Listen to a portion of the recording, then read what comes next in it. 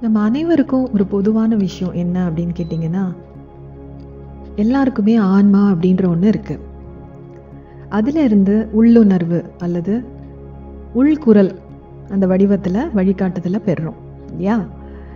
இருந்தாலும் வேறுபடுத்தும் காரணி என்ன அப்படின்னு பார்த்தீங்கன்னா நம்மளை பல பேர் ஆன்மாவோட அல்லது பிரபஞ்சத்தோட அந்த உள்குரலை பற்றி புறக்கணிக்கிறாங்க. ஆனால் மற்ற சில பேர் பார்த்தீங்கன்னா அதில் அதிக கவனம் செலுத்துகிறாங்க அகங்காரத்தின் குரல் அதாவது ஈகோ வாய்ஸ் அப்படின்னு சொல்லுவாங்க இல்லையா? அந்த வாய்ஸை புறக்கணிச்சிட்டு உள்குரலை கேட்பது வாழ்க்கையில் பெரிய தவறுகள்லேருந்து உங்களை காப்பாற்றும்.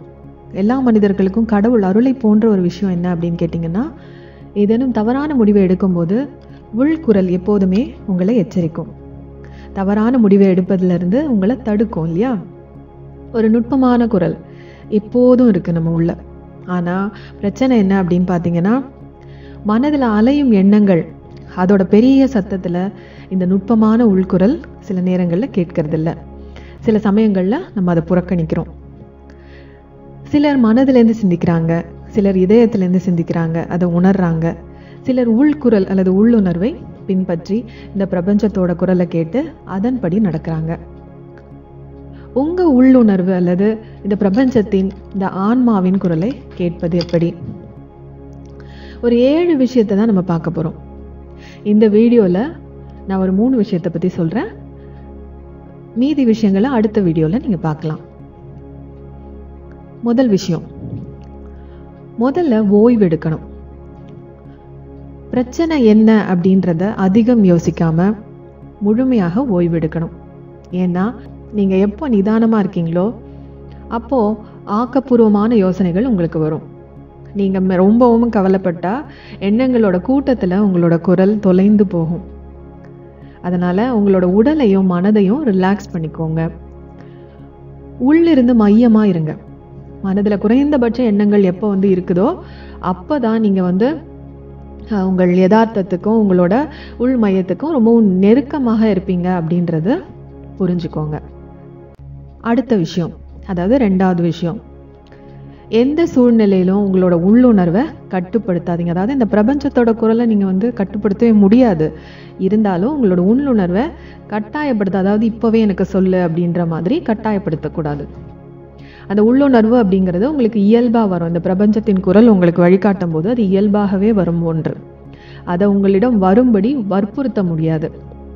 எனவே உள் வழிகாட்டுதல் உங்களுக்கு வரும் வரை நீங்கள் கண்டிப்பாக காத்திருந்து தான் ஆகணும். இது ஒரு சுவிட்ச் மாதிரி கிடையாது. நீங்கள் வந்து அதை ஆஃப் பண்ணி இயக்கிறதுக்கு. அதனால் ஒரு முக்கியமான முடிவிற்காக உங்களோட இந்த பிரபஞ்சத்துக்கிட்ட நீங்கள் வந்து வழிகாட்டுதல் கேட்குறீங்க அப்படின்னா அதனோட தெளிவு வர்றதுக்கும் பிரபஞ்சம் என்ன சொல்லுது அப்படின்னு கேட்கறதுக்கும் சில நேரம் அல்லது நாட்கள் கூட நீங்க காத்திருக்க வேண்டியிருக்கும். அது வரவில்லை அப்படின்னா உங்கள் மனதையோ இதயத்தையோ அதாவது உங்களுக்கு எப்பவும் போல எப்படி நீங்க முடிவெடுப்பீங்களோ அந்த மாதிரி நீங்க முடிவெடுத்துக்கலாம். ஆனால் அந்த பிரபஞ்சத்தோட குரல் என்ன சொல்லுது அப்படின்னு கேட்குற வரைக்கும் அந்த ஓசையை நீங்கள் வந்து புரிஞ்சுக்கிற வரைக்கும் நீங்கள் வந்து கண்டிப்பாக காத்திருந்து தான் ஆகணும். கட்டாயப்படுத்தி இது எதுவுமே நம்மளால் செய்ய முடியாது. மூன்றாவது விஷயம். உள்குரலை எப்போவுமே அடக்காதீங்க. அதாவது உள்குரலை நீங்கள் எவ்வளவு அதிகமாக நீங்கள் எவ்வளவு அதிகமாக பின்பற்றுறீங்களோ அவ்வளவு கேட்கக்கூடியதாகவும் தெளிவாகவும் இருக்கும். முதல்ல நம்மளுக்கு புரியாது அது என்ன சொல்லுதுன்னு. அதை வந்து பழக பழக உங்களோட ஆன்மாவோட உள்குரலை நீங்கள் வந்து கண்டிப்பாக உங்களால் புரிஞ்சுக்க முடியும். தெளிவாகவே புரிஞ்சுக்க முடியும். ஆன்மாவோட உள்குரலை நீங்கள் எவ்வளவு அதிகமாக அடக்குறீங்களோ அது அவ்வளவு அதிகமாக ஒரு காலப்பகுதியில் நுட்பமாகவும் பலவீனமாகவும் மாறிவிட்டு அது உங்களுக்கு சொல்வதையே நிறுத்திவிடும். அதனால் இந்த பிரபஞ்சத்தோட குரலை ரொம்பவுமே நிதானமாக எப்படி இந்த பிரபஞ்சம் நமக்கு வழிகாட்டுது அப்படின்றத நீங்கள் வந்து உணர்றதுக்கு உங்களோட பயிற்சி ரொம்பவுமே முக்கியம். ஏன்னா உங்கள் வாழ்க்கையில் அது வந்து ஒரு சிறந்த வழிகாட்டி. என்ன சொன்னாலும் உங்களோட உள்குரலை நம்புங்க. உங்களுக்கு இந்த வழிகாட்டுதல் கிடைத்ததும் அதை பின்பற்றுங்க. அது வந்து சரியாக நடந்துச்சு அப்படின்னா கண்டிப்பாக இந்த பிரபஞ்சத்துக்கு மறுபடியும் நன்றி சொல்லுங்கள் நம்ம வந்து இவ்வளவு நம்மளுக்கு வந்து வழிகாட்டுற இந்த பிரபஞ்சத்துக்கு கண்டிப்பாக நன்றி சொல்லணும் இல்லையா அதை நீங்கள் செய்யுங்க.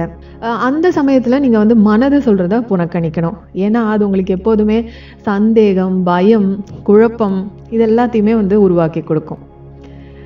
இந்த மனம் குறுக்கிடுவதால தான் பலர் வந்து இந்த உள்ளே இருக்கிற அந்த குரலை வந்து கேட்க தவறிடுறாங்க.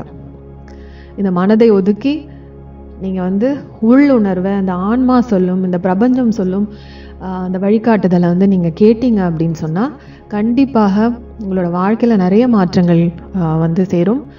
அதே போல் இந்த பிரபஞ்சம் அப்படிங்கிறது நமக்கு வழிகாட்டுறதுக்கும் உதவுறதுக்கும் மட்டும்தான் இருக்குது அப்படின்றத நம்ம முதல்ல நம்பணும். அதை நம்புனீங்க அப்படின்னு சொன்னால் கண்டிப்பாக அது வந்து உங்களிடம் பேசும். அது பேசுகிறத நீங்கள் கேட்கணும் அப்படின்னா கண்டிப்பாக தியானம் அவசியம். தியானம் செய்யுங்க இன்றைக்கி இந்த வீடியோவில் வந்து மூணு விஷயங்களை நம்ம பார்த்துருக்கோம். அது நான் மறுபடியும் சொல்கிறேன் முதல் விஷயம் முதல்ல ஓய்வெடுங்க. எந்த பிரச்சனையை பற்றியும் அதிகமாக சிந்திக்காதீங்க. ஓய்வெடுங்க.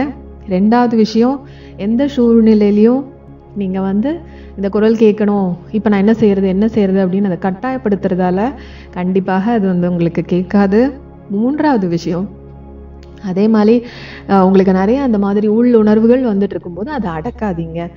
அதை வந்து என்ன சொல்லுதுன்னு கேளுங்க. மென்மையாகவும் தெளிவாகவும் உங்கள் ஆன்மாவோட குரலை கேட்க பழகுங்க.